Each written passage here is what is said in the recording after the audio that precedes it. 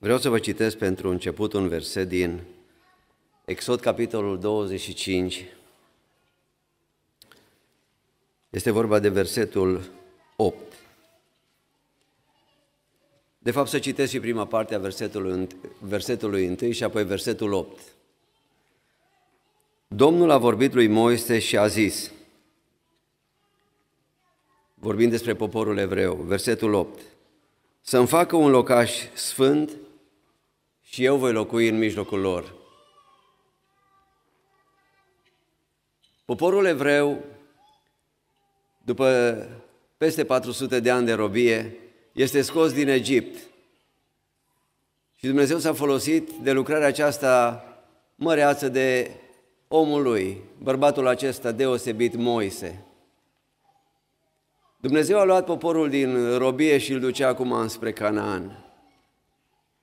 Dar Dumnezeu nu a făcut lucrarea aceasta și a spus îi voi scoate din robie și îi voi duce în Canaan, se vor descurca ei cumva pe drum.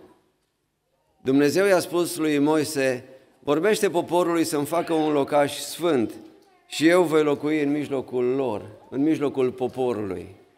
Dorința lui Dumnezeu era ca să fie pe drum cu acest popor, El să fie împreună cu ei, să nu-i lase, să zicem așa, singuri și de capul lor.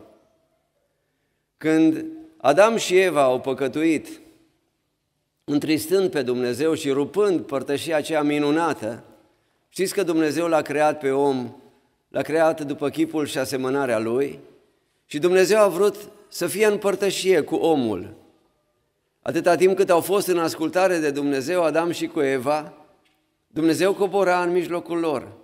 Venea ca un prieten, așa cum, să zic, ne vizităm noi unii pe alții, intrăm în casa prietenilor noștri și stăm de vorbă cu ei și ne bucurăm împreună cu ei și avem așa o părtășie minunată. Așa venea Dumnezeu, ca la un prieten. Venea la Adam și se plimbau prin grădină și vorbeau. Mă gândesc că vorbeau despre lucrurile sfinte, nu așa de multe ori cum vorbim noi. Dumnezeu a vrut și l-a creat pe om ca să fie în părtășie cu El, să fie în intimitate cu El. Asta e planul lui Dumnezeu. Nu l-a creat pe om și l-a lăsat undeva deoparte pe pământul acesta și Dumnezeu undeva în tronul, pe tronul lui de slavă, în glorie și în ceruri. Omul singur și Dumnezeu la fel. De aceea ne-a creat Dumnezeu, să fie împărtășie cu noi. Nu că ar fi avut nevoie, pentru că Trinitatea, Dumnezeul triunic, are fericirea în sine însuși, se bucură de El însuși și nu că ar avea nevoie, dar așa a fost, așa a vrut El. De fapt, era un har făcut acestei creații, cu totul diferită de orice altă creație un har pe care Dumnezeu ni l-a acordat nouă oamenilor, creați după chipul și asemănarea Lui, să fim aici pe pământ în părtășie cu El.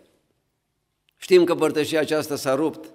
Adama nu a ascultat de Dumnezeu și s-a rupt ceea ce era mai frumos.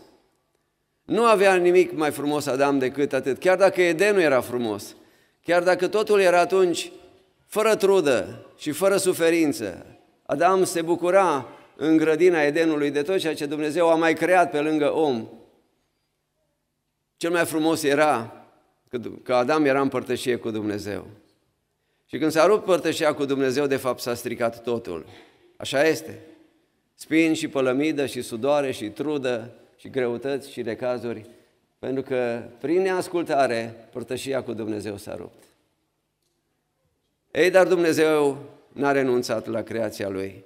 Și Dumnezeu a zis, vreau să locuiesc din nou împreună cu ei. Voi găsi un mijloc să ajung din nou să pot locui împreună cu ei. Păcatul îi desparte, păcatul face ca părtășia să se rupă. Dar Dumnezeu, în marea lui milă și dragoste și bunătate, a zis, voi găsi un mijloc ca să fiu din nou împreună cu ei. Nu ne-a abandonat. Și nu-i frumos lucrul acesta? Nu e încurajator lucrul acesta? Nu ne-a abandonat Dumnezeu, chiar dacă am păcătuit. Și apoi știți, l-a luat pe Avram, a zis, uite Avram, vreau să fac din tine un popor mare, vino și urmează-mă. Și părtășia cu Dumnezeu s-a relegat, să zic așa, s-a refăcut. poporul evreu din Avram și apoi apare Moise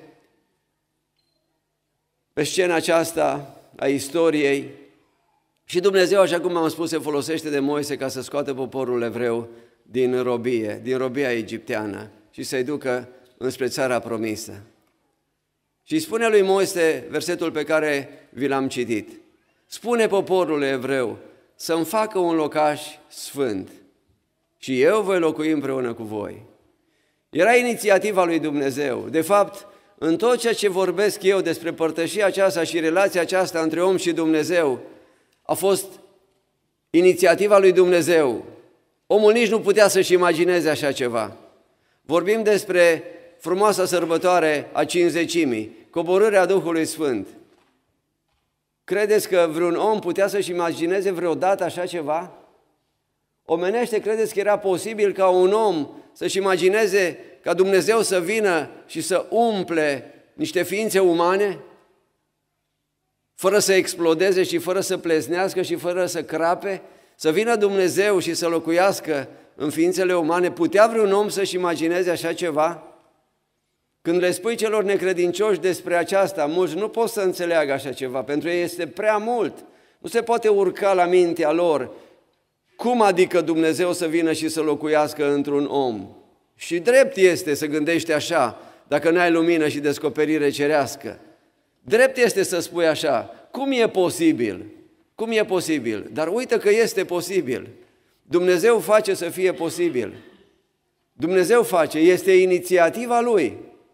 Omul nici nu se putea gândi la așa ceva. Este inițiativa lui Dumnezeu și lucrul acesta iar este foarte încurajator pentru noi. Vrea Dumnezeu așa.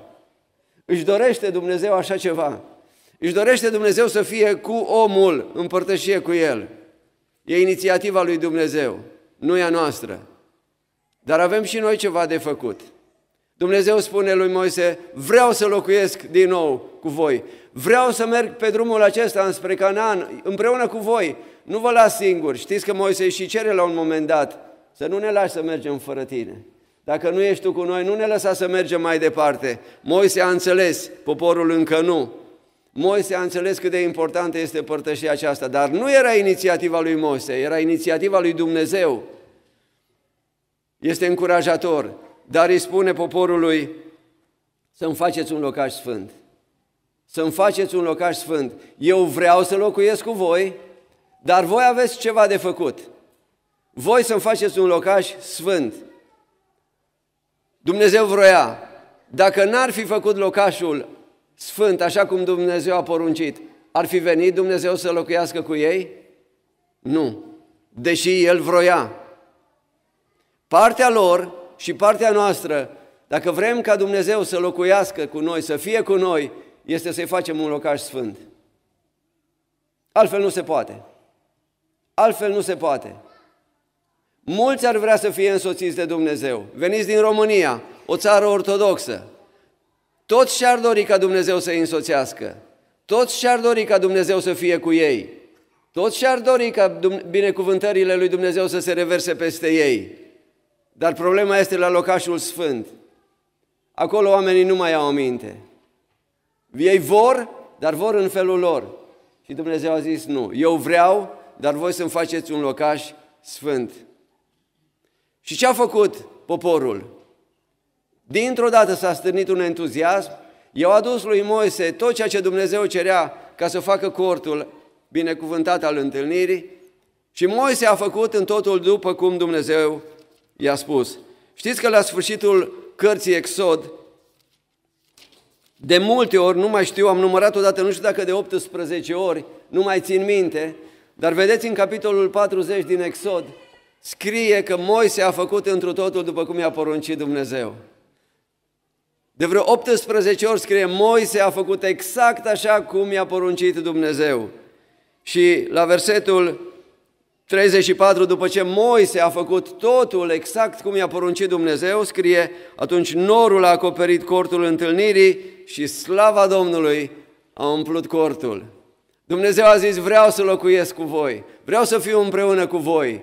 Dar n-a venit atunci, a venit când poporul a terminat de făcut ceea ce Dumnezeu le-a poruncit.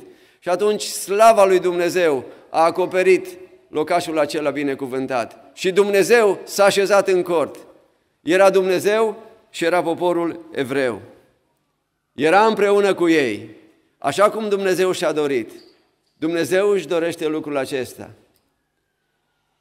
Mai târziu, știm că poporul a ajuns în a ajuns în uh, țara promisă și s-a așezat acolo. Cortul nu-și mai avea locul, nu-și mai avea rostul, pentru că a fost făcut să fie mobil. Îl așezau, îl strângeau, mergeau mai departe, Dumnezeu era cu ei. După ce au ajuns în țara promisă, Dumnezeu spune, acum trebuie să-mi faceți un templu. Să-mi faceți un templu. Și templul a fost tot planul lui Dumnezeu, ca și cortul întâlnirii. A fost planul lui Dumnezeu în 1 Cronici, capitolul 28,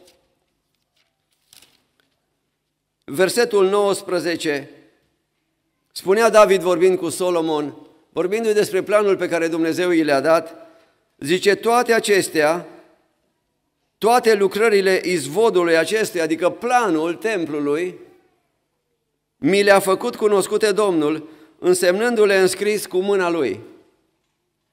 Așa cum Dumnezeu i-a dat planul lui Moise acolo pe munte, stând numai ei doi, de data aceasta Dumnezeu spune David, Dumnezeu mi-a făcut un plan, Dumnezeu mi-a făcut o schiță. Uite ce-ți las ție, Solomon, nu-s gândurile mele, nu-i planul meu, nu eu am întocmit planul acesta, Dumnezeu mi l-a scris cu mâna Lui. Știți că și pe munte Dumnezeu a scris tablele cu mâna Lui, cu degetul Lui? Dumnezeu mi-a făcut acest plan cu mâna Lui, îi spune David lui Solomon. Și știm că Solomon a făcut și a împlinit dorința lui David de a zidi lui Dumnezeu un locaș, o casă, în tocmai după planul acesta. Și templul acesta a fost grandios. Cortul nu a fost chiar așa de spectaculos. Templul acesta însă a fost foarte spectaculos. Era minunat, punea oamenii în uimire. Dar ce era valoros în acest templu? Care era valoarea templului? În ce consta valoarea templului? În pietre, în cât de frumos erau uh, vasele de la templu cu care se slujea, în cât de frumos era chiar chivotul. În ce consta valoarea templului? Acolo, în chivotul care era așezat în Sfânta Sfintelor, a venit prezența lui Dumnezeu. Templul a fost valoros pentru că șechina, Dumnezeu, prezența lui Dumnezeu era acolo. Fără această prezență nu avea nicio valoare. Poate arhitectonică, da. Știți că ucenicii la un moment dat îi spun, dar era un alt templu atunci când au umblat ucenicii cu Domnul Isus Hristos. Era templul lui Irod refăcut. Și au zis, uite, Doamne, pietrele acestea, zidirea aceasta, ce impresionante sunt. Și Domnul a spus, nu va rămânea piatră pe piatră aici. De ce? De ce? De ce nu va mai rămânea piatră pe piatră aici?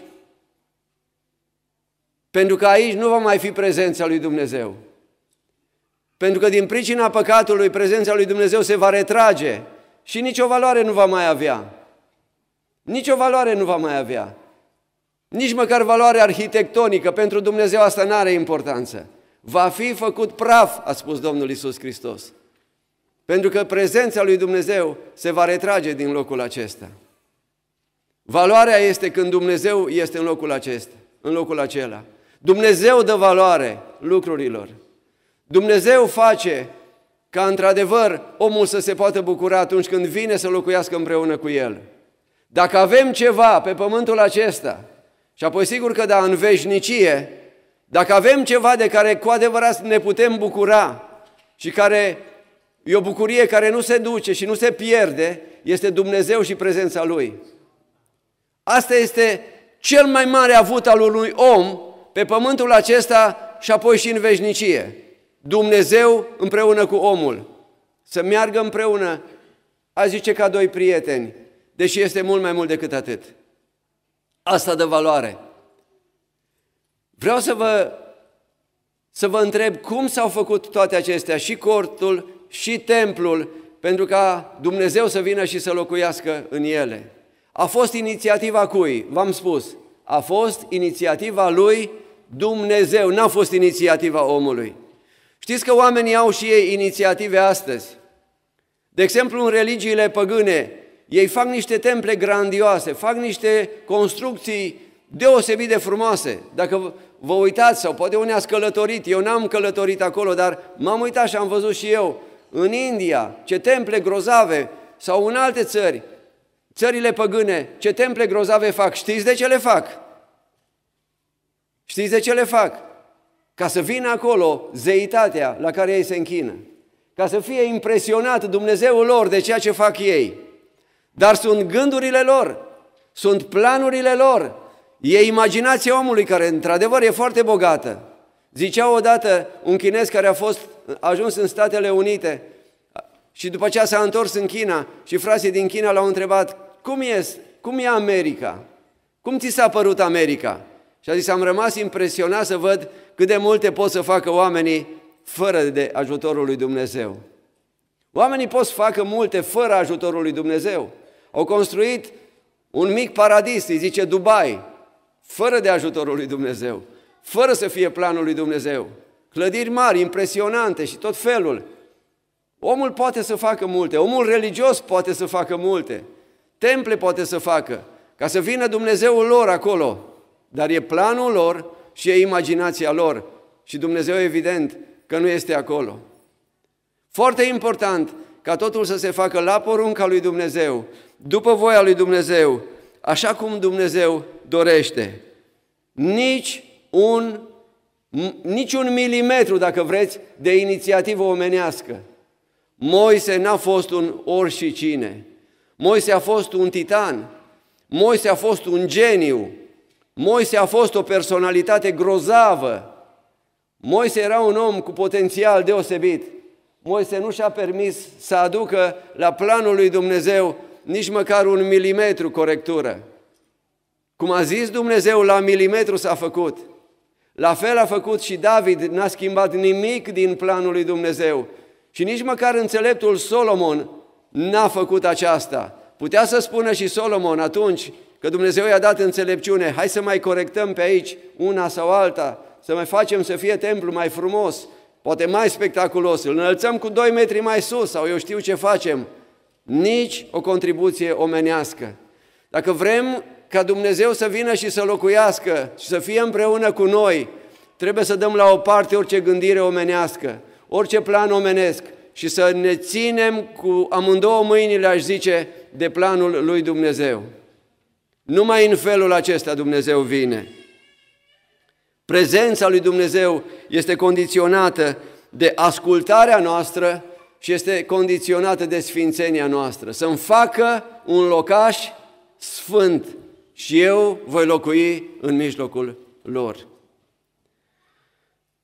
Citim mai târziu în Scripturi despre un alt locaș care a apărut în poporul evreu, un alt loc de închinare.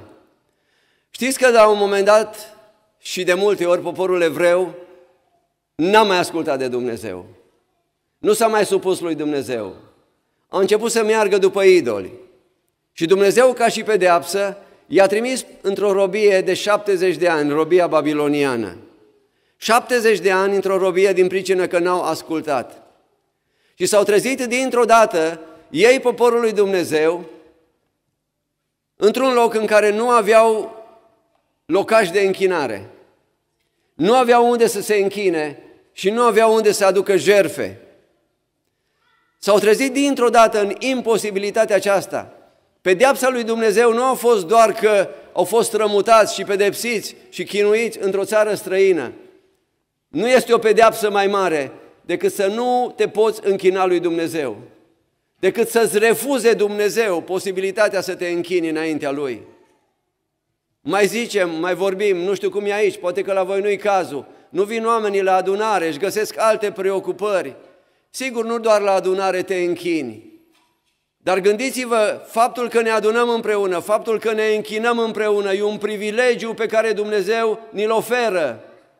E un privilegiu. Trebuie să vedem asta ca un privilegiu din partea lui Dumnezeu, pe care mulți îl necinstesc. Și s-ar putea să vină vremurile în care Dumnezeu să ne ia acest privilegiu.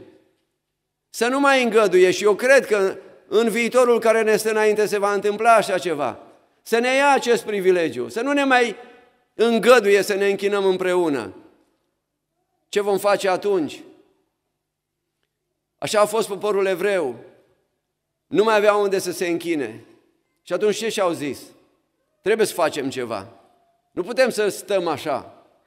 Noi suntem poporul lui Dumnezeu. Da, nu mai avem templu. Prin urmare, nu mai putem aduce jerfe, pentru că jerfele știau că trebuie aduse numai la templu. Dar ce să facem? Ceva trebuie să facem. Și știți ce a apărut? În timpul robiei babiloniene a apărut sinagoga. Sinagoga atunci a apărut, pentru că evreii au zis, trebuie să facem și noi ceva. Trebuie să ne închinăm și noi într-un fel sau altul. Și și-au făcut sinagoga. Sinagoga a fost planul lor. Sinagoga nici nu putea să fie planul lui Dumnezeu, pentru că Dumnezeu tocmai îi pedepsise. Dumnezeu tocmai trimisese afară din Ierusalim, departe.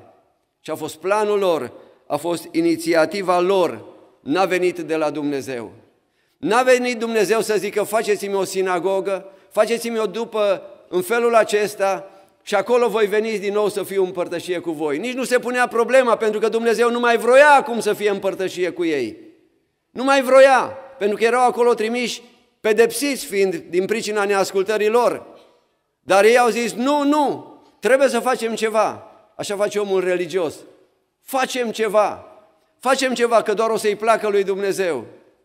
Și în loc, la sinagogă, sigur că da, nu mai puteau să aducă jerfe. N-aveau locul. Și atunci au zis, ce să facem? Haideți să aducem rugăciuni. La sinagogă se făceau multe rugăciuni. Și o să ziceți, ce e rău să faci rugăciuni? Nu e rău să faci rugăciuni. Dar rugăciunile care nu sunt făcute după voia lui Dumnezeu și după planul lui Dumnezeu n-au nicio valoare și nu sunt ascultate de Dumnezeu. Rugăciunile care nu sunt făcute de pe o bază a ascultării de Dumnezeu, de pe o bază a sfințeniei, poți să le faci până răgușești, că n-au nicio valoare. N-au nicio valoare. Încă aveau templu și în Isaia, capitolul 1, se duceau ei acolo, dar deja erau în neascultare de Dumnezeu, că Isaia a fost unul dintre profeții care mereu a strigat, zeci de ani a strigat, pocăiți-vă că dacă nu vă duce Dumnezeu în robie și n-au vrut să-L asculte. Ei mergeau la templu și aduceau jerfe, făceau sărbători mari, sărbătoarea cinzecimii, sărbătoarea... Făceau sărbători mari și Dumnezeu zice, ce-mi trebuie mie mulțimea jerfelor voastre? Mie scârbă de darurile voastre de mâncare. Nu mai faceți lucrurile acestea. Omul crede că dacă pune în locul ascultării multă activitate religioasă, Dumnezeu o să fie impresionat. Nici vorbă. Dumnezeu lui Dumnezeu este scârbă. Uneori lui Dumnezeu este scârbă de rugăciuni. Pentru că omul se roagă și nu vrea să renunțe la păcat. Și dacă ne rugăm de pe poziția aceasta, să nu ne așteptăm ca Dumnezeu să ne asculte.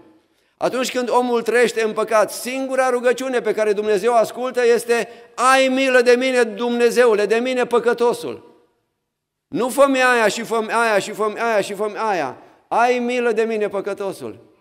Ei au pus în locul jerfelor rugăciuni, crezând că îl impresionează pe Dumnezeu.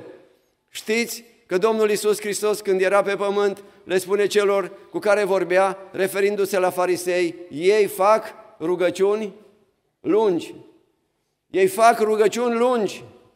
Și cine le asculta? Cine asculta rugăciunile fariseilor? Ei se ascultau pe ei, Dumnezeu sub nicio formă. O, sinagoga era planul lor, rugăciunile erau făcute în neascultare de Dumnezeu. Un alt aspect, în sinagogă, slujbele nu mai erau făcute de oameni sfinți, dăruiți lui Dumnezeu, dedicați lui Dumnezeu. Slujbele erau făcute de oricine. Oricine în sinagogă putea să ia cuvântul și să vorbească. Vă aduceți aminte că Domnul Isus Hristos intră la un moment dat în sinagogă și pentru ei cine era Domnul Isus Hristos atunci? Nu era nimeni, era unul, nu știm noi cine este, fiul tâmplarului, nu-i cunoaștem noi părinții, cine e și ăsta? Era un tânăr și el acolo. A intrat în sinagogă și i s-a dat să citească din cartea profetului Isaia. Și Domnul Isus spune, acum s-au împlinit cuvintele acestea. Oricine putea să intre în sinagogă, nu că Domnul Isus era oricine, mă înțelegeți ce vreau să spun. Ei nu-L recunoșteau atunci ca fiind Mesia, pentru ei era un oricine. Deci ca și Domnul Isus, orice bărbat evreu putea să se ducă în sinagogă, să ia să citească și să-și dea cu părerea din Scriptură. Știți că la templu și la corte nu era așa. Erau oameni dăruiți, erau oameni dedicați, erau oameni unși și puși în slujbă. Erau oameni care trebuiau să aducă jerfe, ca nu cumva să fie necurați atunci când făceau slujbele. La sinagogă oricine putea să vorbească. Oricine putea să-și dea cu părerea. Și în sinagogi au apărut școlile rabinice. Ce erau acestea? Venea un învățat rabin care studia mult scripturile, studia scriptura și zicea, mie așa mi se pare că este, așa ar trebui făcut. Dar venea altul și zicea, mie mi se pare că altfel ar trebui făcut. Mie mi se pare că așa ar trebui interpretat pasajul ăla. Și era școala lui Gamaliel, era școala lui Hilel, era școala lui Cutare și Cutare și fiecare rabin avea, învățat, avea uh, ucenicii lui și își dădeau cu părerea despre Scripturii. Niciodată Dumnezeu n-a rânduit să fie așa. Omul să-și dea cu părerea despre Scripturii. Omul trebuia să citească Scripturile și să le asculte. Să asculte de Dumnezeu. Însă, la sinagogă așa era. Își dădeau cu părerea de, de, despre Scripturii. Un alt aspect. Erau foarte atașați de sinagogă. Erau foarte atașați de sinagogă. Pentru că era clubul lor acolo, social dacă vreți. Acolo se întâlneau evrei, ceilalți îi disprețuiau. Și atunci se duceau la sinagogă. M-am gândit la lucrul acesta. Având în vedere, așa cum sunteți voi, frați plecați în străinătate, să aveți grijă, să aveți grijă, să nu faceți din biserică un club social în care să vă adunați și, într-un fel sau altul, să vă împliniți niște nevoi sufletești. Biserica trebuie să fie mult mai mult decât atât. Mult mai mult decât atât. Biserica, așa cum am spus, trebuie să fie locul în care îl onorăm și îl cinstim pe Dumnezeu. Da, slavă Domnului că ne putem aduna, slavă Domnului că putem fi împreună. Dar atunci, în vremea aceea, ei făceau ceea ce făceau și se adunau acolo pentru că nimeni nu mai băga în seamă. De ceilalți erau bazjocoriți. Și asta era sinagoga. Tot ce se făcea la sinagogă nu se făcea pentru gloria și slava lui Dumnezeu, că el nici nu era acolo, se făcea pentru om. O nevoie religioasă și o nevoie, o nevoie de felul acesta, sufletească, socială. Asta era sinagoga. De ce? Pentru că a fost invenția omului. Nu se împlineau cu adevărat nevoile spirituale. Și Dumnezeu nu era acolo. Cel mai trist lucru este că Dumnezeu nu era acolo. Și nu poate fi Dumnezeu într-un loc care este făcut după imaginația omului. De ce vă spun lucrurile acestea? Ca să înțelegem cu toții, eu în primul rând și apoi dacă vreți și voi, cât de important este să-i pregătim lui Dumnezeu un locaș sfânt, un locaș după voia Lui, să nu fie nici un milimetru de inițiativă omenească, ci să căutăm să facem totul, totului tot după voia lui Dumnezeu, așa cum Dumnezeu poruncește. Sinagoga ajuns și-a împlinit scopul de a-l duce pe om într-o relație cu Dumnezeu și era normal să fie așa, pentru că nu era porunca lui Dumnezeu. Și știm rezultatul. Știm ce erau farisei, știm ce erau cărturarii în vremea Domnului Iisus Hristos. Răi și foarte răi, pentru că Dumnezeu nu stătea, nu era împărtășie cu el. Acum, însă Dumnezeu n-a renunțat. Dumnezeu n-a renunțat la dorința lui de a fi cu poporul său, cu cei ce îl cheamă. Însă Dumnezeu a făcut un lucru și mai minunat, care ne privește pe noi, neamurile. Dacă evrei au trăit în neascultare și după ce Domnul Isus Hristos a venit să restabilească relația omului cu Dumnezeu, într-un fel în care n-a mai fost niciodată de la căderea omului în păcat, și după ce evreii l-au respins pe Domnul Isus Hristos, Dumnezeu a zis, acum mă voi întoarce și înspre ceilalți. Dacă până acum am vrut să locuiesc în mijlocul poporului acesta evreu, acum vreau să locuiesc și cu ceilalți. Asta este un mare har. A fost planul lui Dumnezeu că ne-a acceptat și pe noi, nenorociții de noi, păcătoșii de noi, mizerabilii care am fost, spurcații prin păcat care am fost. Dumnezeu a zis, vreau să-i aduc și pe ei în părtășie cu mine. Ne-a întins și nouă mâna și a arătat harul în felul acesta și față de noi. Și a apărut un alt templu. Și a apărut un alt templu. Care este acela? Care este acela? La cinzecime, vorbim despre cinzecime. La cinzecime Dumnezeu a coborât, dar peste cine a coborât la cinzecime Dumnezeu? Vă duc înapoi, în Exod 25. Faceți-mi să-mi facă un locaș sfânt și eu voi locui împreună cu ei, cu voi. Peste cine a venit Duhul Sfânt la cinzecime? Peste cei ce au crezut în Isus Hristos și care în felul acesta au fost sfințiți. Au fost sfințiți. S-a pregătit un locaș sfânt. Dumnezeu a pregătit posibilitatea apariției unui alt locaș sfânt. Și aceștia au fost cei ce au crezut în Domnul Isus Hristos și au întors spatele lumii și au mers pe calea aceasta sfântă a pocăinței, lepădându-se de ei și trăind pentru Hristos. Și le-a spus Domnul Isus Hristos, mergeți și așteptați în Ierusalim și va veni peste voi o putere și veți fi martori până la marginile pământului. Acest templu nou este biserica. Cei ce cred în Isus Hristos, care au fost ființiți prin Isus Hristos și care au fost transformați, s-au născut din Dumnezeu. S-au născut din Dumnezeu și Dumnezeu a venit să locuiască cu ei. A fost planul omului? Nici nu ne puteam imagina așa ceva. Nici nu putea, evreii nu-și puteau imagina așa ceva. Cum? Cum să vină Dumnezeu și să locuiască în inimile păgânilor, în inimile neamurilor? A fost o controversă chiar între evrei. Nu puteau să-și imagineze așa ceva. Le face Dumnezeu și lor parte de har până când au înțeles că da. Nu era planul nostru, era planul lui Dumnezeu. Ce trebuie să facem noi ca Dumnezeu să vină și să locuiască? Să-i pregătim un locaș sfânt. Asta înseamnă să ascultăm de Dumnezeu. Asta înseamnă să credem în Domnul Isus Hristos. Asta înseamnă să ne lepădăm de noi și să renunțăm la lume și la păcat și să trăim pentru Dumnezeu. Și Dumnezeu promite că dacă va, dacă va găsi un astfel de locaș, va veni să locuiască, va veni să fie împreună cu noi. Nu știu cât vă bucurați voi de vestea aceasta, dar eu mă bucur foarte mult. Eu mă bucur foarte mult, pentru că nu poate fi pe pământul acesta o bucurie mai mare decât ca Dumnezeu să vină și să umble cu mine. Să mă însoțească Dumnezeu, ba mai mult, nu să mă însoțească, să fie înăuntrul meu, în inima mea și de acolo să mă conducă și să-mi conducă și să-mi călăuzească viața. Pentru că despărțit de El nu pot face nimic despărțit de El, Duhul Sfânt în noi, atunci facem totul bine. Dar dacă așa cum ni s-a spus mai la început, îl întristăm pe Duhul Sfânt și El pleacă, știți ce facem? Știți ce facem când pleacă Duhul Sfânt? Facem prostii și ne apucăm de făcut sinagogi. Astăzi sunt o grămadă de sinagogi, lucrări făcute nu la inițiativa lui Dumnezeu, ci la inițiativa omului. Se supără 3, 4, 5 dintr-o adunare că nu li se face lor pe plac, se duc și fac, ei zic, o altă biserică. Dar de cele mai multe ori fac o altă sinagogă, pentru că nu-i planul lui Dumnezeu. Planul lui Dumnezeu este să fim împreună, să ne iubim, să ne ajutăm unii pe alții, să ne mustrăm unii pe alții, să ne certăm unii pe alții, exact ca și într-o familie, în nădejdea că toți vom ajunge în împărăția lui Dumnezeu.